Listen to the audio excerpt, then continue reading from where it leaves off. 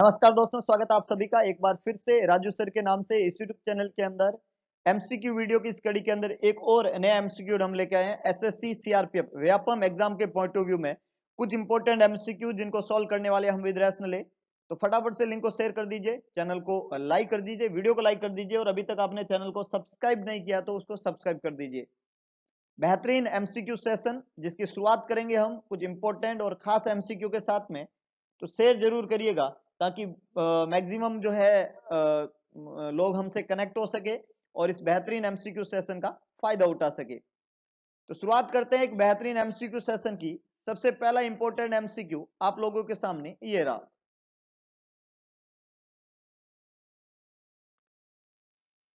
In planning care for the patient with ulcerative colitis, the nurse identifies which nursing diagnosis as a priority. क्या question ने पूछा है आपसे?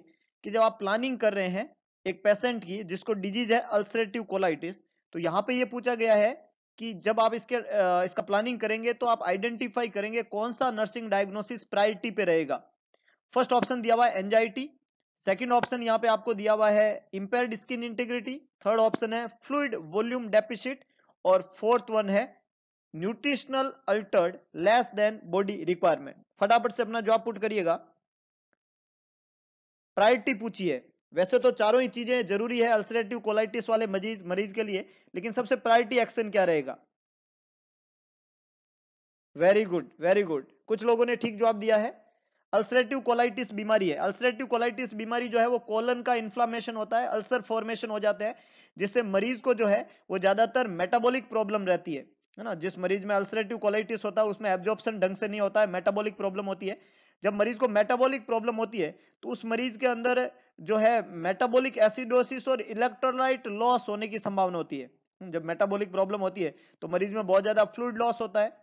Fluid loss होता है, मरीज़ में इलेक्ट्रोलाइट का लॉस होता है।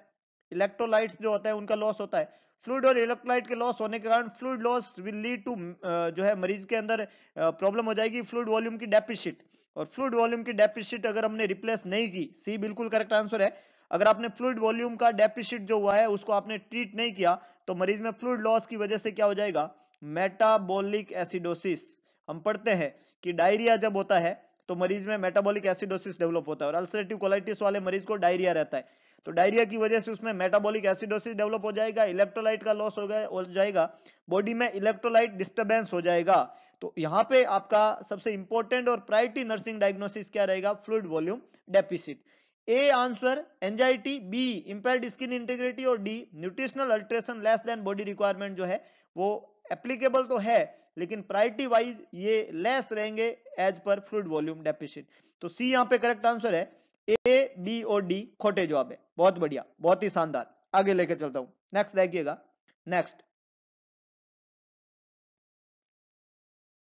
क्वेश्चन है nurse is teaching about IBS irritable bowel syndrome बीमारी का नाम है आईबीएस इरिटेबल बोवल सिंड्रोम उस मरीज़ को टीचिंग दे रहे हैं, कौन सा which of the following would be most important कौन सा मोस्ट इंपॉर्टेंट जो है, यहाँ पे टीचिंग मैकेनिज्म रहेगी?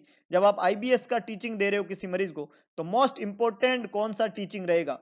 फ़र्स्ट है reinforcing the need for a balance diet दूसरा encouraging the client to drink 16 ounce of fluid with each meal third है telling the client to eat a diet low in fibre और last one है instructing the client to limit his intake of fruit and vegetable which is the correct one मरीज़ जो है, वो है irritable बोल syndrome का। कौन सा मोस्ट इंपोर्टेंट चीज़ रहेगा टीचिंग के अंदर? वेरी गुड कुछ लोगों ने बिल्कुल ठीक जवाब दिया है, कुछ लोगों ने खोटे जवाब भी दिए हैं।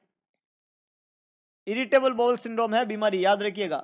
इरिटेबल बॉल सिंड्रोम जो बीमारी होती है, उसमें जो फ़ूड डायरिया करते हैं ब्लॉटिंग करते हैं, वो फ़ूड जो है इंक्लूड नहीं करते हैं इस बीमारी में। जैसे फ्राइड फूड्स वे कैफिनेटेड बेवरेजेज वे एल्कोहल व स्पाइसी फूड्स जो वे, वो ज़्यादातर इस बीमारी में प्रॉब्लम करते हैं। तो वो नहीं देने हैं तो मरीज़ को यहाँ पे हम री करते हैं बैलेंस डाइट के लिए, जिसमें सारे न्यूट्रिएंट हो और फाइबर हो। तो ए बिल्कुल करेक्ट आंसर है। री करना है आपको पेशेंट को, किस चीज़ की नीड है? बैलेंस डाइट की नीड है। बैलेंस डाइट क्या होती है? वो डाइट जिसमें सारे तरीके के क्या है? न्यूट्रिएंट्स होते हैं एक तो और दूसरा क्या होते हैं? फाइबर होते हैं। तो सारे तरीके के न्यूट्रिएंट और फाइबर जिस डाइट में होते हैं, उस डाइट को बैलेंस डाइट कहते हैं। ए बिल्कुल करेक्ट आंसर है। हम रीस्पोर्स कर करेंगे मरीज़ को कि उसको बैलेंस डाइट की नीड है। बी ऑप्शन यहाँ पे लिखा हुआ है एनकरेज करना 16 ounce of fluid with each meal ये इनकरेक्ट है। मरीज़ को बोलेंगे कि डाइट जो है वो लो फाइबर ले तो ये खोटा है। हाई फाइबर डाइट देनी होती है फाइबर डाइट में बढ़ाना है। और लास्ट टाइम इंस्ट्रक्ट करेंगे क्लाइंट को कि लिमिट करें intake of fruit and vegetable तो फ्रूट एंड वेजिटेबल ले सकता है। जो नहीं लेना है, वो कैपिनेटेड बेवरेजेस नहीं लेने एल्कोहल नहीं लेना स्पाइसी फ़ूड नहीं लेना है। वो चीज़ें जो और जो है आपका जो बोवल है उसको और इरिटेट करते हैं, उन इरिटेट सब्सटेंस को एक्सक्लूड करना है डाइट में से। तो यहाँ पे करेक्ट आंसर रहेगा A, balance diet, very good, बहुत अच्छे, बहुत ही शानदार। आगे लेकर चलता हूँ, नेक्स्ट देखिएगा नेक्स्ट देखिएगा। The nurse is planning care for the patient with celiac disease. एक मरीज़ है जो प्लानिंग केयर दे रहे हैं, एक मरीज़ को जिसको बीमारी है सिलाइक डिज़ीज़। कौन सी बीमारी है? Celiac disease. In teaching about the diet diet के बारे में जब आप टीचिंग दे रहे हैं, the nurse should instruct the patient to avoid which of the following breakfast. कौन सा ब्रेकफास्ट मरीज़ को अवॉइड करना है? बहुत इंपॉर्टेंट बीमारी है सिलाइक डिज़ीज़। सिलाइक डिज़ीज़ जो है, उसका दूसरा नाम ग्लूटेन एंटेरोपैथी है। Gluten enteropathy enteropathy. ग्लूटेन जो सब्सटेंस होता है, वो वीट में पाया जाता है और ग्लूटेन सब्सटेंस जो है, उससे बॉडी को एलर्जी होती है, इसको वीट एलर्जी बोलते हैं। वीट एलर्जी जो ग्लूटेन होता है, उसको इंटेस्टाइन एक्सेप्ट नहीं करती है। और ग्लूटेन जो होता है, उसको एंटीजन की तरह लेती है इंटेस्टाइन और इंटेस्टाइन के जो विलाई होते हैं, उनका डिस्ट्रक्शन हो जाता है। जो इंटेस्टाइन में विलाई पाए जाते हैं, उन विलाई का क्या हो जाता है? डिस्ट्रक्शन हो जाता है, क्योंकि इंटेस्टाइन जो होती है, उसको ग्लूटेन ग्लूटेन को इंटेस्टाइन एंटीजन की तरह लेती है, और विलाई सिस्टम जो है डिस्ट्रक्ट हो जाते हैं। बीमारी का नाम है ग्लूटेन एंट्रोपैथी या सिलाइक डिज़ीज़ तो सिलाइक डिज़ीज़ का जो मरीज़ होता है, उसमें कौन सा ब्रेकफास्ट आपको अवॉइड करना है तो बेसिकली ग्लूटेन जो है, वो चार चीज़ों में पाई जाता है। बार्ले राई ओट और वीट ब्रो एक मिनोमिक्स है बी का मतलब यहाँ पे है बार्ले आर का मतलब है राई ओ का मतलब है ओट और डब्ल्यू का मतलब है वीट ये चार चीज़ें होती है जिसमें क्या पाया जाता है? ग्लूटेन तो ग्लूटेन अवॉइड करना है, ये ब्रो अवॉइड करना है। ग्लूटेन फ्री डाइट देनी है। तो आपको ब्रेकफास्ट में जो चीज़ अवॉइड करनी है, वो वीट अवॉइड करना। बिल्कुल, मैक्सिमम लोगों ने बिल्कुल सही जवाब दिया। वीट की जो क्रीम है, वो आपको अवॉइड करनी है, क्योंकि इसमें ग्लूटेन होता है। वीट में ग्लूटेन है और जो एलर्जी का कारण बनेगा और मरीज़ जो है वो सिम्टोमेटिक हो जाएगा। इसका कंफर्मेटिव डायग्नोस्टिक टेस्ट जो होता है, वो टीटीजी होता है। Tissue transglutaminase is the confirmative diagnostic test for gluten enteropathy. तो यहाँ पे करेक्ट आंसर क्या रहेगा? A cream of wheat should be avoided जो पेशेंट जो है, इससे सफ़र कर रहा है ग्लूटेन एंट्रोपैथी या सिलेक्ट डिज़ीज़ से। और अवॉइड करना है ब्रो बार्ले राई ओट और वीट ये आपको क्या करना है? अवॉइड करना है। बहुत ही बढ़िया, बहुत ही शानदार। मैक्सिमम लोगों ने ठीक जवाब दिया है। ग्लूटेन एंट्रोपैथी में क्रीम ऑफ़ वीट जो है, वो ब्रेकफास्ट में उसको क्या करना है? अवॉइड करना है। बहुत अच्छे, बहुत ही शानदार। आगे लेकर चलता हूँ। नेक्स्ट देखिएगा। The nurse is caring for a patient with suspected diverticulitis. बीमारी का नाम क्या है? डाइवर्टिकुलाइटिस है। डाइवर्टिकुलाइटिस बीमारी वहाँ पे सस्पेक्टेड की जा रही है। कौन सी बीमारी? Diverticulitis is the inflammation of diverticula the nurse would be most prudent in questioning which of the following diagnostic test ordered कौन सा डायग्नोस्टिक टेस्ट ऑर्डर करने पे? सवाल को समझिएगा। सवाल कह रहा है the nurse would be most prudent in questioning मतलब क्वेश्चन करने के लिए उतावली ही हुए जा रहे हैं। है ना? अरे अरे, ऐसा मत कराओ, ये क्यों कर रहे हैं? वो कौन सा क्वेश्चन है? कौन से डायग्नोस्टिक टेस्ट को ऑर्डर हुआ? मरीज़ को कोई एक डायग्नोस्टिक टेस्ट लिखे गए थे तो ऐसा कौन सा डायग्नोस्टिक टेस्ट ऑर्डर हुआ? जो होते ही आपने तुरंत बोला, ए, ये नहीं, ये क्यों कर रहे हैं? ये नहीं करना है। वो ऐसा कौन सा? मतलब आपको ये बताना है कि डायवर्टिकुलाइटिस बीमारी में इनमें से कौन सा डायग्नोस्टिक टेस्ट कॉन्ट्रा इंडिकेटेड रहता है? चार जो टेस्ट दिए हुए इनमें से डायवर्टिकुलाइटिस में कौन सा टेस्ट कॉन्ट्रा इंडिकेटेड रहता है? फ़र्स्ट ऑप्शन है कोलोनोस्कोपी, सेकंड ऑप्शन है बेरियम एनिमा, थर्ड ऑप्शन है कंप्लीट ब्लड काउंट और फोर्थ ऑप्शन है सिटी स्कैन। चार ऑप्शन यहाँ पे दिए हुए हैं। बीमारी है डायवर्टिकुलाइटिस। कौन से डायग्नोस्टिक टेस्ट को लेके आप क्वेश्चनिंग करेंगे? Colonoscopy, barium enema, complete blood count और CT scan. Very good very good maximum लोगों ने ठीक जवाब दिया। बहुत बढ़िया, बहुत ही बढ़िया। बहुत ही शानदार। बेरियम एनिमा, बहुत बढ़िया। बिल्कुल B is the correct one B for barium B for barium enema B is the correct one barium enema जो है, वो कॉन्ट्रा इंडिकेटेड रहता है डाइवर्टिकुलाइटिस वाले मरीज़ के अंदर। बेरियम एनिमा कॉन्ट्रा इंडिकेटेड रहता है डाइवर्टिकुलाइटिस वाले मरीज़ में। क्योंकि अगर डाइवर्टिकुलाइटिस वाले मरीज़ को आप बेरियम एनिमा देंगे तो उसकी वजह से बोवल परफोरेशन होने की पूरी पूरी संभावना। बेरियम एनिमा वाले मरीज़ को अगर आप डाइवर्टिकुलाइटिस वाले मरीज़ को बेरियम एनिमा देंगे तो उसका कॉम्प्लिकेशन हो जाएगा बोवल परफोरेशन। बोवल परफोरेशन इसका कॉम्प्लिकेशन है, इसलिए वो नहीं देते हैं। बाकी कोलोनोस्कोपी, कंप्लीट ब्लड काउंट जिसको सीबीसी कहते हैं और सीटी स्कैन तीनों ही इंडिकेटेड है डायवर्टिकुलाइटिस की स्टडी के अंदर। इसमें कोई प्रॉब्लम नहीं है, ये अप्रोप्रिएट डायग्नोस्टिक टेस्ट है। तो यहाँ पे करेक्ट आंसर क्या रहेगा? B barium enema. बहुत ही बढ़िया, बहुत ही शानदार। मैक्सिमम लोगों ने बिल्कुल सही जवाब दिया है। वेरी गुड वेरी गुड बहुत बढ़िया. बहुत अच्छे. आगे लेके चलता हूँ. नेक्स्ट देखिएगा. When the nurse is gathering information for the assessment the patient states my stomach hurt about two hours after I eat जब आप डाटा गैदर कर रहे हैं एक मरीज़ से तो असेसमेंट के समय तो एक मरीज़ बोलता है, आपको स्टेट करता है, बोलता है कि मेरा जो पेट है वो बहुत दुखता है, हर्ट होता है मुझे। About two hours after I eat, खाना खाने के दो घंटे बाद में पेट के अंदर दर्द होता है। खाना खाने के दो घंटे बाद में, याद रखिएगा, वर्ड है, खाना खाने के दो घंटे बाद में। Base upon this information, the nurse knows the patient likely has a. इस इंफॉर्मेशन के बेस पे नर्स ये जानती है कि पेशेंट को हुआ है, क्या हुआ है? क्या हो गया पेशेंट को ऐसा कि खाना खाने के दो घंटे बाद में उसके पेट के अंदर दर्द होता है? क्या हो गया ऐसा? Gastric ulcer duodenal ulcer, peptic ulcer, curling ulcer. फटाफट से जवाब लिखिएगा, बहुत ही बढ़िया। मैक्सिमम लोगों ने बिल्कुल सही बिल्कुल सही पुट डाउन किया है, बहुत बढ़िया, बिल्कुल सही जवाब लिखा है। इंडिविजुअल, जिसको अल्सर होता है और कौन सा ulcer? Very good duodenal ulcer B is the correct one again B बिल्कुल करेक्ट आंसर है। It's not peptic ulcer it's duodenal ulcer. Peptic ulcer दो तरीके के होते हैं ड्यूडिनल और गैस्ट्रिक, है ना? अगर अल्सर जो होता है, वो कहाँ पे हो आपके? अल्सर अगर स्टोमक में हो, उसको तो क्या बोलते हैं? Gastric ulcer. और अल्सर ड्यूडिनम में हो, उसको क्या बोलते हैं? Duodenal ulcer. अब ड्यूडिनल अल्सर वाले मरीज़ को जो है टिपिकली उसकी कंप्लेन होती है कि उसको खाना खाने के दो से तीन घंटे बाद में पेन होता है। ज़्यादातर आदमी खाना खा के रात को सोता है तो सोने के बाद में नाइट टाइम के अंदर उसको दर्द होएगा, डेफिनेटली होएगा, क्योंकि खाने के दो घंटे बाद ही ये दर्द होता है। तो पेन यूजुअली जो है, वो खाने के दो घंटे बाद में होता है और खाना खाते ही दर्द में आराम आ जाता है। तो होता क्या है? स्टोमक जब खाली होता है और इसमें अगर एच बनता है है ना? तो ये एच जाएगा और कहा जाएगा? नीचे की तरफ़ जाएगा और ड्यूडिनम को टच करेगा तो दर्द होगा। अब अगर किसी आदमी ने खाना खाया तो ये एच नीचे जाना बंद हो गया और खाने के साथ में ये एच जो है वो काम आने लग जाता है। जैसे एच खाने के साथ में काम आता है तो उसको दर्द बंद हो जाता है। तो खाना खाते ही दर्द में आराम है मरीज़ को। अब उसने खाना खाया, दो घंटे बाद में ये पेट इसका फिर खाली हो जाएगा। जैसे स्टोमक खाली होता हमने बोला जो एस है अब इसके लिए यहाँ तो खाना है नहीं तो एस वापस कहाँ जाएगा? ड्यूडिनम में तो दो घंटे बाद में फिर दर्द होता है। तो ये मरीज़ जो है ये जब खाना खाता है तब तो, एस खाने के साथ में यूज़ आ जाता है तो इसको दर्द बंद हो जाता है कम हो जाता है। और जब ये खाना नहीं खाता है खाली पेट रहता है और ये जो एच है ये ड्यूडिनम में जाता है तब इसको पैन होता है।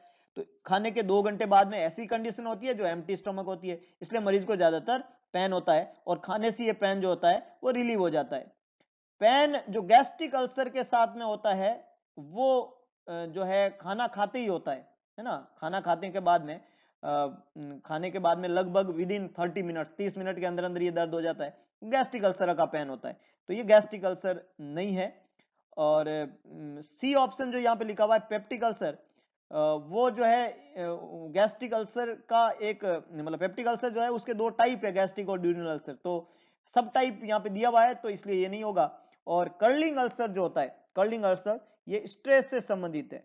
स्ट्रेस न्यूरोलॉजिकल इंजुरी जब होती है इंट्राक्रेनियल प्रेशर जब बड़ा होता है आईसीपी जब इंक्रीज होता है और स्ट्रेस जब होता है, तब जो अल्सर बनता है स्टोमक के अंदर, उसको कर्लिंग अल्सर कहते हैं due to the excess secretion of steroid hormone जिसकी वजह से स्टोमक की गैस्ट्रिक म्यूकोसा डैमेज होती है और वहाँ पे एचसीएल बहुत ज़्यादा सिक्रिट होता है, वो टच होता है और उसकी वजह से मरीज़ को सीवियर पेन होता है। तो ये कर्लिंग अल्सर जो है, वो स्ट्रेस इनकी आईसीपी सेरेब्रल एडिमा से संबंधित अल्सर है। गैस्ट्रिक अल्सर और peptic duodenal ulcer peptic ulcer के दो टाइप है और ड्यूडेनल अल्सर में खाना खाने के दो घंटे बाद में मरीज़ को पेन होता है। तो करेक्ट आंसर यहाँ पे क्या रहेगा? बी बहुत ही अच्छे, बहुत ही शानदार। मैक्सिमम लोगों ने ठीक से जवाब देने की कोशिश की है। बहुत ही बढ़िया, बहुत ही बढ़िया। The registered nurse is conducting an in-service for colleagues about peptic ulcer. है ना? एक मरीज़ है जिसको कंडक्ट कर रही है और उसको क्या है? पेप्टिक अल्सर है। The nurse would be correct in identifying which of the following as a positive factor आप पेप्टिक अल्सर को करेक्टली आइडेंटिफाई करने में कौन सा पॉजिटिव फैक्टर है? पेप्टिक अल्सर करता है, वो कौन सा रहेगा? ये आपको आइडेंटिफाई करना है। रजिस्टर्ड नर्स है कंडक्ट कर रही है इन सर्विस फॉर कलीग्स जिसको पेप्टिक अल्सर है। कौन सा पॉजिटिव ऑर्गेनिज्म है? क्या बात है, क्या बात है। कमेंट बॉक्स को आपने राफेल बना दिया है।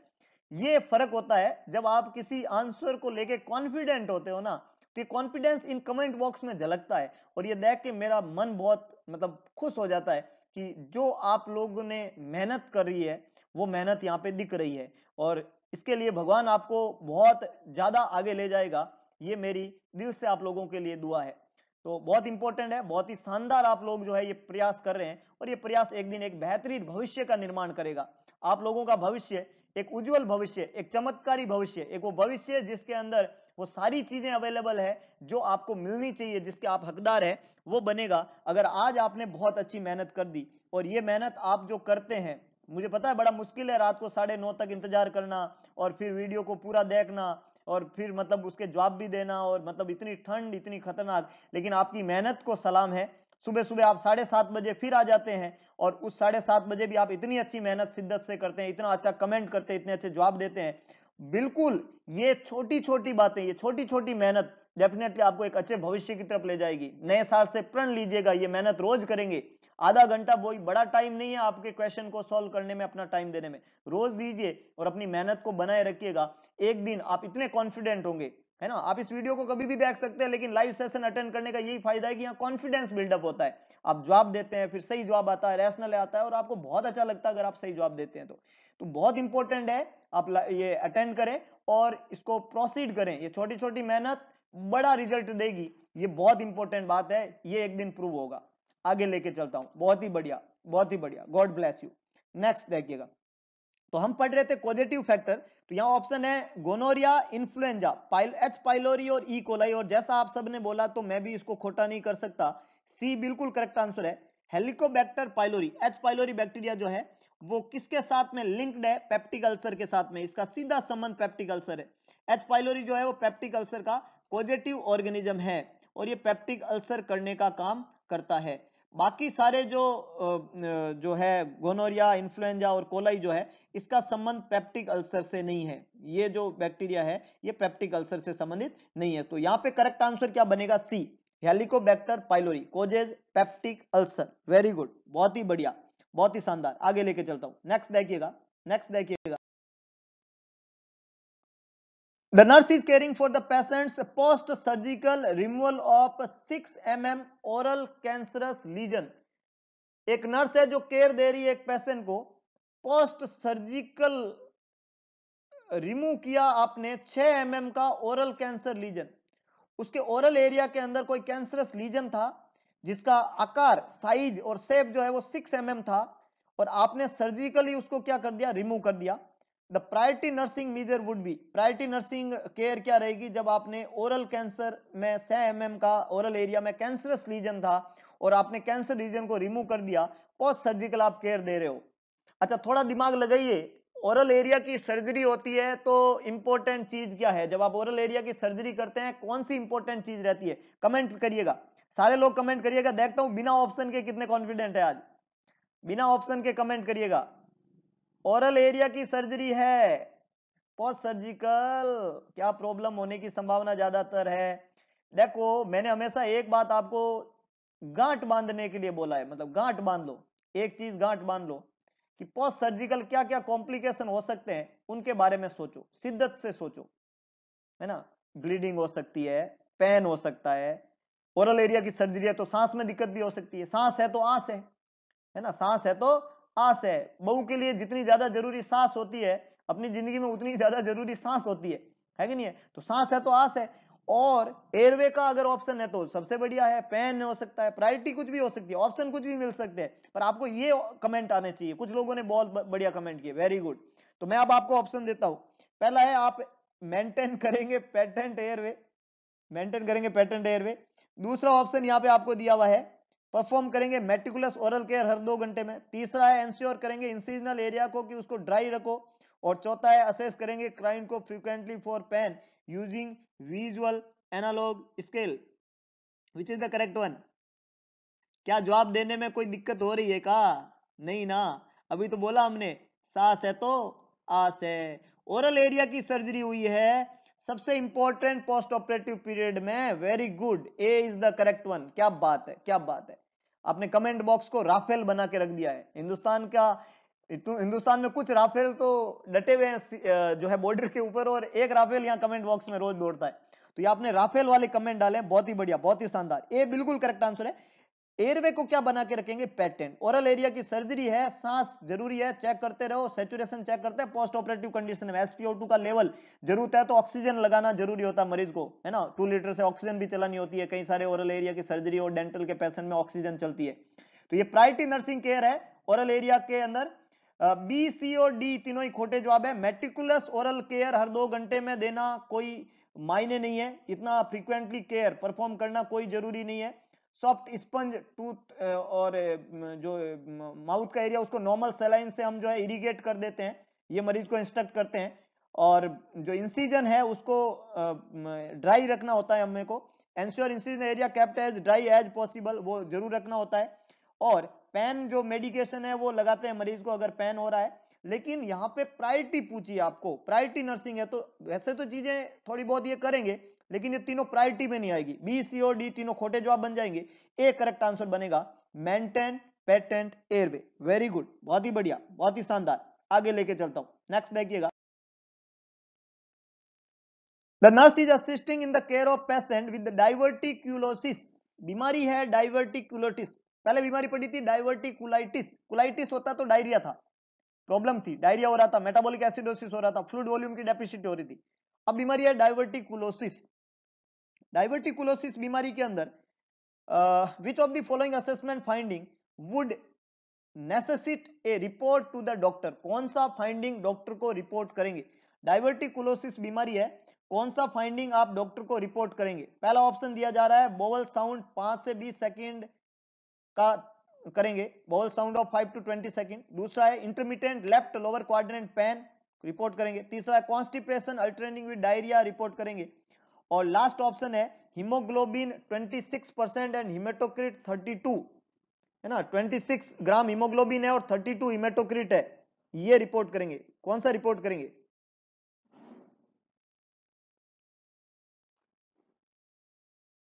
कौन सा रिपोर्ट करेंगे? फटाफट से अपना जवाब लिखिएगा।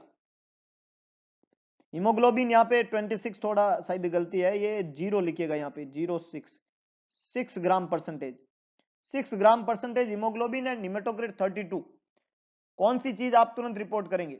डाइवर्टिकुलोसिस बीमारी वाले मरीज़ के अंदर। Very good very good six करते ही आप लोगों ने आ, बिल्कुल बिल्कुल बिल्कुल बिल्कुल। बहुत बढ़िया।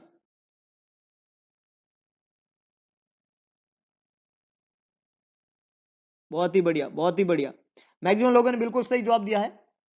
बहुत ही बढ़िया। डी यहाँ पे बिल्कुल करेक्ट आंसर है। छह ग्राम परसेंटेज हिमोग्लोबिन और 32 टू हिमेटोक्रिट ये लो है। हिमोग्लोबिन भी लो है हिमेटोक्रिट भी लो है। ये इंडिकेट करता है कि डायवर्टिकुलोसिस वाले मरीज़ में इंटेस्टाइनल ब्लीडिंग हो रही है। किसको इंडिकेट करते हैं? इंटेस्टाइनल ब्लीडिंग को। डायवर्टिकुलोसिस वाले मरीज़ में इंटेस्टाइनल ब्लीडिंग को इंडिकेट करते हैं। बोवल साउंड का पाँच से बीस second intermediate lower quadrant pain और कॉन्स्टिपेशन अल्टरेट विद डायरिया ये नॉर्मल सिम्टम है। ये तो इस बीमारी के सिम्टम है और ट्रीटमेंट मरीज़ ले रहा है। धीरे धीरे सिम्टम ठीक हो जाएँगे। लेकिन अगर उसका हीमोग्लोबिन और इमेटोक्रिट जो है वो लो है, ये इंडिकेट करते हैं इंटेस्टाइनल ब्लीडिंग हो रही है। तो यहाँ पे करेक्ट आंसर क्या बनेगा? डी वेरी गुड बहुत ही बढ़िया, बहुत ही शानदार। नेक्स्ट है the nurse is assessing the client admitted for possible oral cancer The nurse identify which of the following as a late occurring symptom of oral cancer. Nurse assess करी एक मरीज़ को जो एडमिट हुआ है ओरल कैंसर लेके। Nurse identify कर रही है कौन सा लेट अकरिंग सिम्टम है ओरल कैंसर होगा ओरल कैंसर का लेट अकरिंग सिम्टम। कौन सा ओरल कैंसर का लेट अकरिंग सिम्टम है? Warm odour, pain, ulcer with flat edge. कौन सा ओरल कैंसर का लेट अकरिंग सिम्टम है? जो मरीज़ एडमिट हुआ है ओरल कैंसर लेके। तो आपको ये आइडेंटिफाई करना है ओरल कैंसर का लेट अकरिंग सिम्टम। बहुत बढ़िया, बहुत ही बढ़िया। फटाफट से कमेंट करिएगा। लेट सिम्टम पूछा है। लेट पूछा है, इसका मतलब तीन अर्ली होंगे, एक लेट होगा। ये बहुत इंपॉर्टेंट बात है। तो ओरल एरिया में कोई अगर लीजन बन जाता है, कोई कैंसरस लीजन बन जाता है, ज़्यादातर उनको बनता है जिनके दाने दाने में कैंसर का दम होता है। है ना? कई सारे लोग जो है, वो दाने दाने में कैंसर का दम बड़ी शान और शिद्दत के साथ में उसको यूज़ करते हैं। है कि नहीं है? और वो जो पान बहार गुटका तंबाकू, बीड़ी जर्दा, मिराज, है ना? ये सारी चीज़ें जो होती है, ये कारण है ओरल कैंसर का। ओरल कैंसर जो है, उसके होने के ये कारण है, ये बुरी आदत है। इसको आज ही त्याग दें। नए साल पे कुछ रिजोल्यूशन लेना है तो जो लोग इन चीज़ों के आदि हो गए या जिनको आदि होने की इच्छा हो रही है, वो एक रिजोल्यूशन ले कि इनका कभी सेवन नहीं करेंगे, क्योंकि ये ओरल कैंसर के कारण बनते हैं। जब ओरल लीजन बन जाता है तो इनिशियली वो लीजन जो होता है, वो वाम होता है। वहाँ से ऑर्डर आती है, बदबू आती है है ना? कुछ लोगों को वो खुशबू लगती है, वो अलग बात है, लेकिन होती वो बदबू है। और वो लीजन जो होता है, वो फ्लैट एज वाला अल्सर होता है। तो ये जो तीन साइन है वाम ऑर्डर वाला अल्सर विद फ्लैट एज ये अर्ली साइन है ओरल कैंसर के। इस लीजन के अर्ली अक्रेंस होते हैं, तब ये होते हैं। लेट में फिर वो पेनफुल हो जाता है। तो लेट साइन यहाँ पे पूछा है तो सी करेक्ट आंसर है। लेट अकरिंग सिम्टम तो जो रहेगा ओरल कैंसर का वो तो रहेगा पेन और अर्ली सिम्टम के अंदर आएँगे warm odour ulcer with flat edge ये सारे के सारे क्या रहेंगे? उस लीजन के अर्ली साइन रहेंगे। तो ये कुछ इंपोर्टेंट एमसीक्यू आज की इस वीडियो लेक्चर में हमने पढ़े। होप सो आपको वीडियो पसंद आया तो वीडियो को लाइक करें वीडियो को शेयर करें और कमेंट बॉक्स में अपना सुझाव डालना ना बुरे भगवान कृष्ण ने कहा था कि सारथी बने, स्वार्थी ना बने। तो देखते हैं कितना सारथीपन दिखाते हैं, कितने लोगों तक अप्रोच करते हैं, कितने लोगों की मुस्कान का कारण बनते हैं। तो ज़रूर करिएगा। मिलते हैं दोबारा एक नई एनर्जी एक नए साल के साथ में, एक नए दिन की शुरुआत, कुछ नई आशाओं के साथ में। तब तक के लिए जय हिंद, जय भारत, जय महाकाल।